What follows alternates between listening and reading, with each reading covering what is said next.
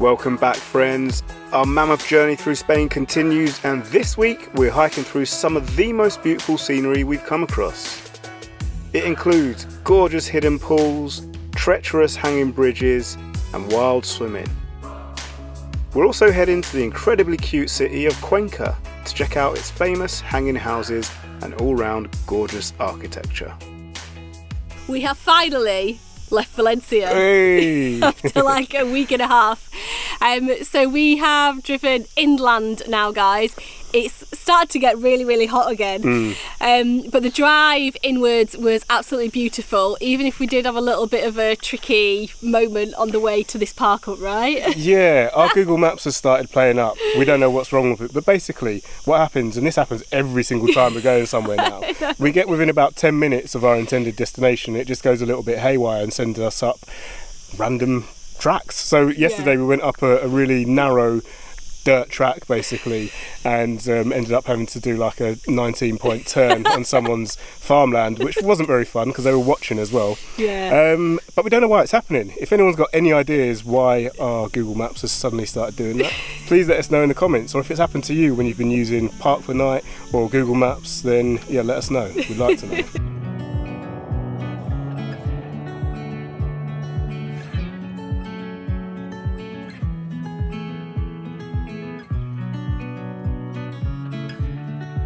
are in a place called Chulilla, and the reason that we have come here is to do the hike that we are currently on, which is over some hanging bridges in a massive gorge. Now, I had to convince Jay to do this. In fact, I don't think he is actually fully convinced, but we're doing it anyway. But yeah, it's at quite a height, so he's feeling a little bit nervous about it.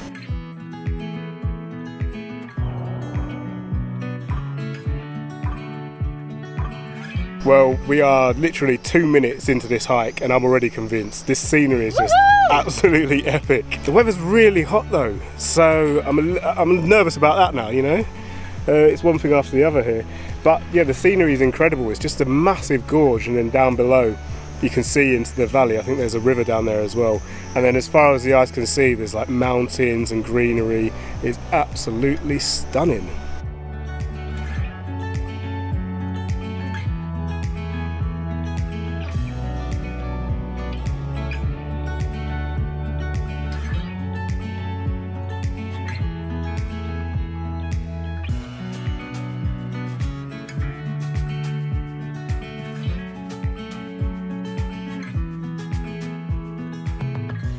Interesting fact then, the river that we were on is the River Turia, which is the one that flows through the city centre, or sorry, it used to flow through the city centre of Valencia before they rerouted it, the one that flooded the city. Um, and we've just read a sign that said this place is where the flood actually started from. So when that happened, the this whole area flooded as well, and it took out the suspension bridges that were here, and yeah, caused this whole area to flood. There was a flour mill that got destroyed and everything, and yeah, the water just continued down into the city of Valencia and destroyed that as well.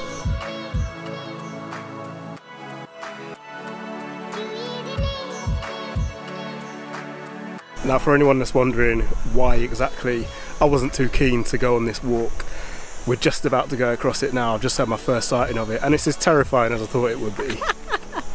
I, on the other hand, am really excited.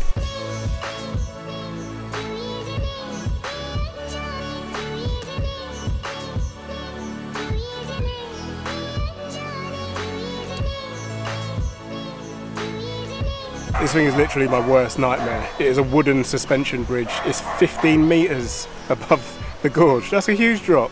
And it is creaky as hell. Sarah just walked across. It doesn't sound safe.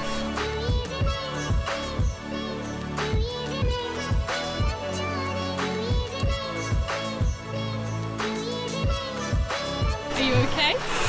My knees are genuinely like knocking. My legs are shaking. That is terrible. I didn't even realise this coming over, but that's really mm-hmm. steep as well. Can you hear that creaking? this is horrific.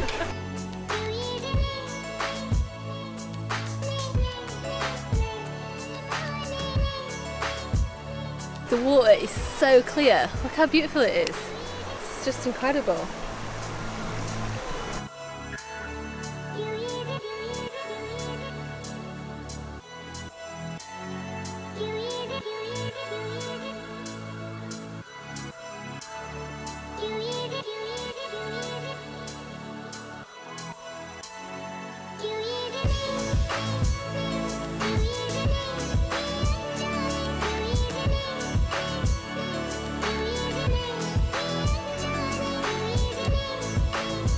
We've reached the end of the walking trail that we were on, and the uh, the path goes to a massive dam. Yeah. And you can walk up to the top of the dam, and I assume that there's a reservoir on the other side.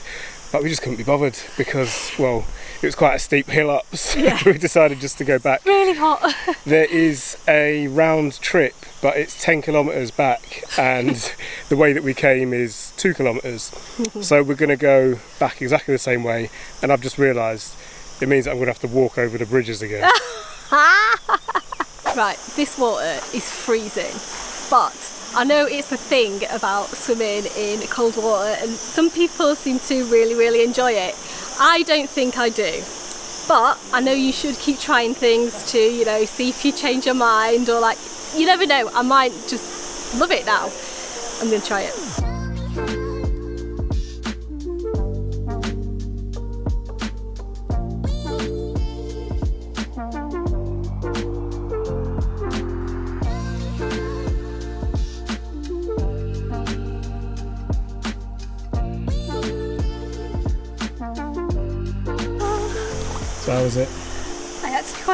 it. Is this your new hobby?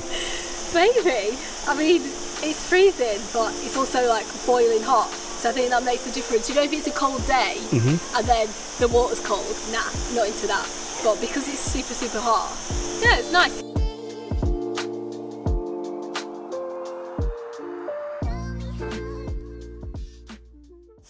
Just walking back over the second bridge. Check this out. Actual loose panels here. What's up with it? Look at that nail sticking out. That screw.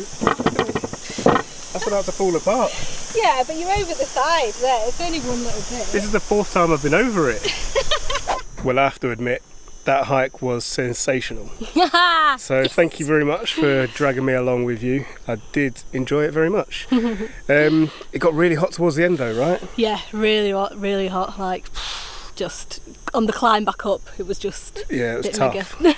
it wasn't very long. I mean, the walk back was probably only about half an hour Yeah. because we didn't stop to take pictures and stuff like that. But um, yeah, very hot, very Mm-hmm. exposed, not much shade. So um, we had a little bit of a cool down in the van, and now we're going to go and head into the actual town itself because when we drove through it, it looked really, really pretty. Appalachian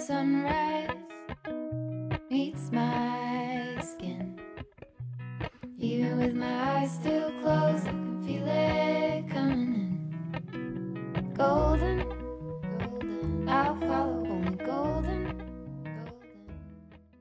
So yesterday on the hike we were on, we saw a place called Charco Azul, and it looks pretty cool. So we're going to try and see if we can find it this morning. It says on Google Maps that it's 15 minutes walk away. Jay reckons not. Um, so yeah, we'll see how we go.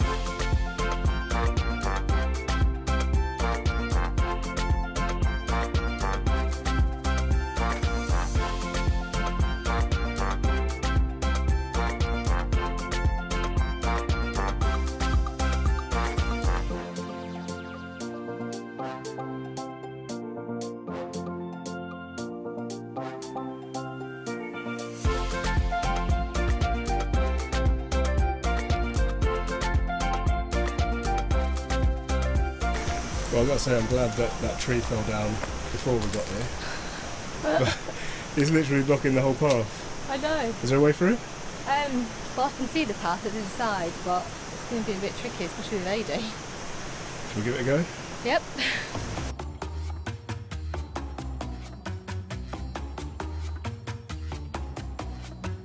Well, that was a no-go, so let's trying a different route this time. Can I just say, it's really stupid that I've got flip flops on. The reason I put flip flops on is because I've got a blister on my foot, and so I couldn't really wear my trainers. But yeah, it's really not the best idea. The rule didn't work, so back to the original idea. yeah, let's try the tree again.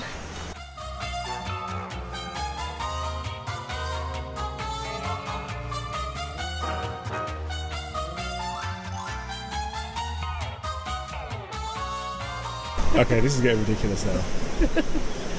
Look at that. Are you planning on taking me along those planks? I didn't know it was like this. There's a perfectly nice path along the other side as well. I've been looking at enviously as we've been going along this treacherous, crumbling mess of a, a route.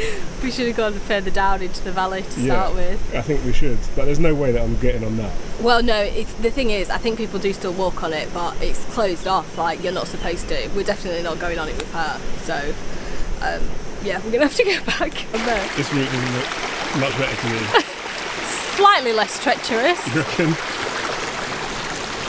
Half of those are submerged. And then there's a wooden plank as well. Um, Do you want me to try first? Yeah, that'll be fun to watch. Okay.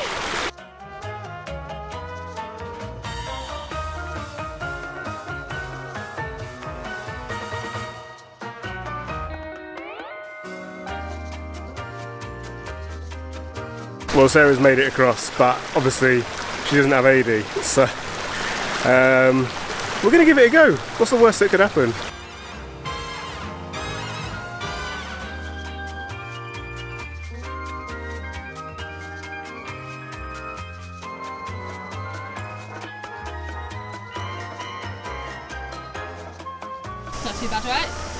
Pretty bad. It's quite hairy, but at least it wasn't high up because I would not have done that. We made it! It was literally about 30 seconds away from the, the uh, wooden bridge that was collapsed and Yeah. from those stepping stones.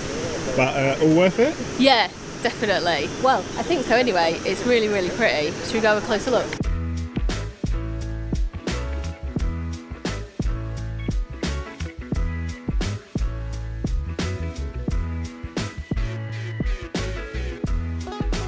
That rickety wooden bridge Uh-huh. that we, you know, you tried to drag me across, No, I was never going on that, man.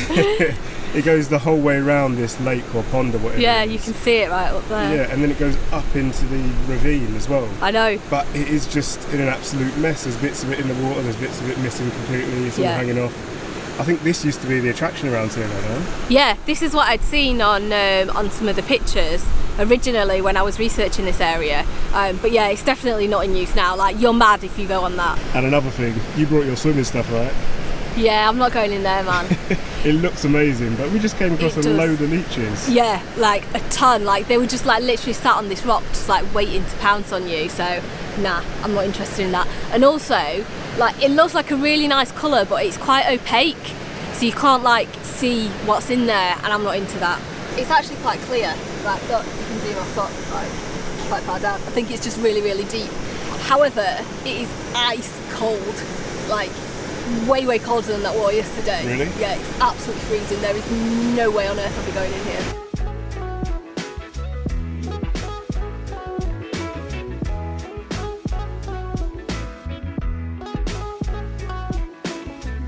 I really enjoyed that hike once Good. again. So thank you very much again for dragging me out on another hike. Which one did you enjoy best? Uh, I think yesterday's it was tougher Uh-huh. and it was longer, Uh huh. but um, the scenery was just incredible. I mean, it was amazing today as well. But yeah, I think yesterday. What about you? Yeah, yesterday. But I loved the hanging bridges, so you know Yeah. that's why.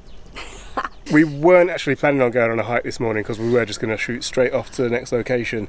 Um, but I'm very glad that we did. Um, we've just arrived back at the van and we're going to get ready and head straight off, I think.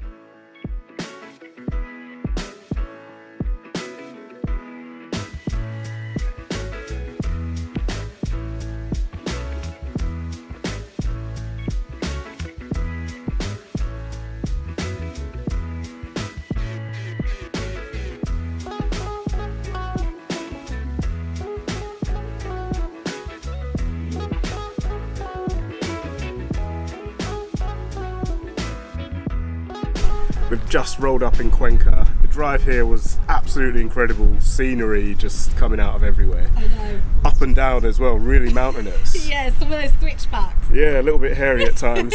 and um, we've rolled up into the park up, and it's absolutely stunning. It's overlooking the town, and you can see all the hanging buildings, which is what this place is famous for, from well, from our windows.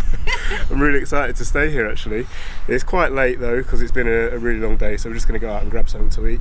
And uh, I think that's the plan for the evening, really. Yeah, yeah. I think there's going to be a storm tonight. Oh, so great. Um, we'll see how that goes. it's a bit windy. a little bit exposed. we had a really nice evening and it was a really, really quiet park up as well. Yeah, it I was, was. quite surprised because it's kind of surrounded by restaurants and bars and stuff like that. Um, but yeah, it's uh, very peaceful. And today we're really excited to head out finally and explore Cuenca. I've no idea what to expect. No, it just looks really pretty from up here. Hmm. So yeah, I think we just get into it and have a wander. This building behind me, just down here, it used to be a convent, but it's now something called a parador, and I think it's unique to Spain.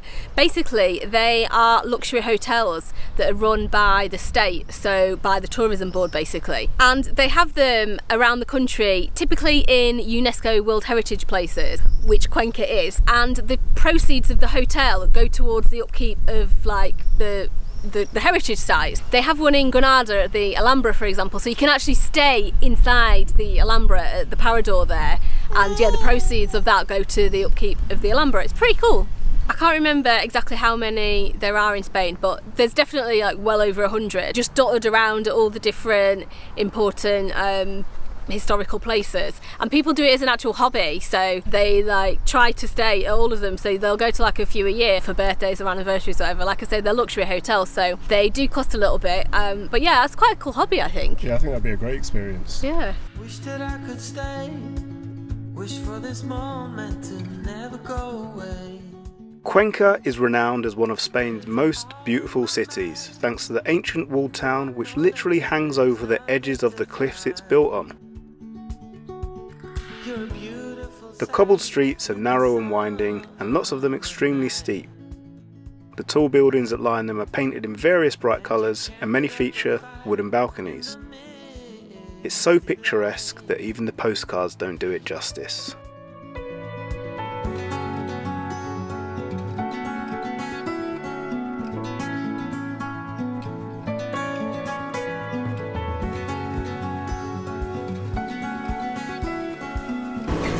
We've just stopped for lunch then and we are getting a menu del dia. Quite happy because it comes with half a litre of wine, so that's pretty good. Um, and yeah, the first course has come and it looks delicious.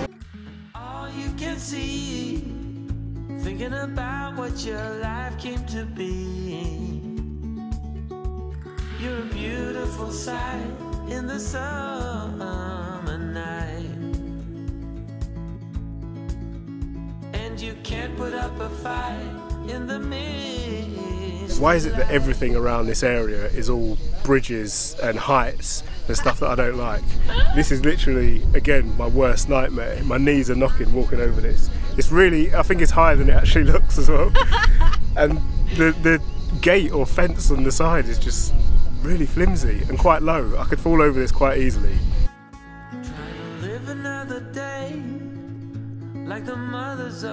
Of Brazil find their way. We're all on our own, but you're the most beautiful I've ever known. You're a beautiful sight in the summer night. It's been a really special couple of days here in Cuenca. We've absolutely loved it. And this park up has just been incredible, right? Like to have this view from the door, like, yeah, just seriously amazing. Really, really, really recommend coming here if you come to Spain. Absolutely. Next stop is Madrid. We're heading back there to see family and we're staying at the same campsite that we did last time. We're pretty excited to get back there. So let's hit the road. Well, that's it for this week, friends. We hope you enjoyed it. If you did, then please hit that thumbs up button down below and drop us a comment to let us know your thoughts on this week's episode. If you're new around here, then we'd love you to subscribe. And if you do, then please hit that little bell button whilst you're there so you get notified every time we post a new video. Catch you next time.